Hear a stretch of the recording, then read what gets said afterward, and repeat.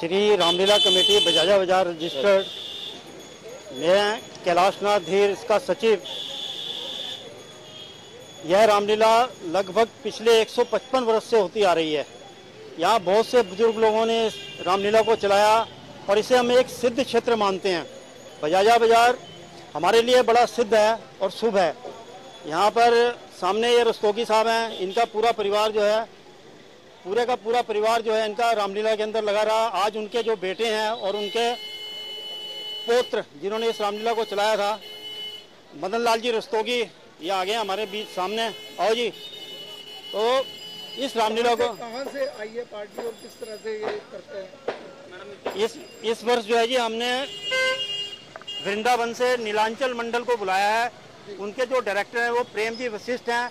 और लगभग 24 आदमियों की संख्या जो है ना वो यहाँ पर पहुँची है।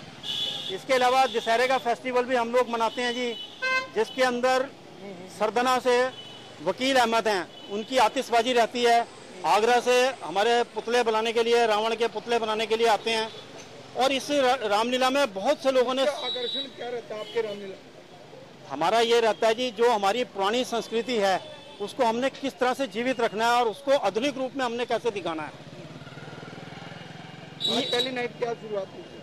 आज पहली नाइट हमारा नारद मोह, नारद जी को किस तरह भगवान विष्णु को उन्होंने ललकारा और भगवान विष्णु ने नारद जी का किस तरह मोह तोड़ा और उसके बाद हमें अभिमान बिल्कुल नहीं करना चाहिए ऐसा नारद जी के जीवन से हमें प्राप्त होता है और भगवान भगवान से भी ताकतवर ऋषि मुनि भारतवर्ष में हुए और उन्होंने भगवान विष्णु को शाप दिया कि तुझे मेरी ही तरह तड़पना पड़ेगा। और बाद में उनकी माया थी जब हटी तो नारद जी जो है उसके लिए पछताने लगे, लेकिन समय निकल चुका था।